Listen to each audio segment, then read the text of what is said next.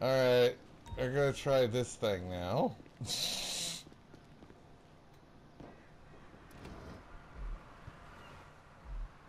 An actual personal airplane.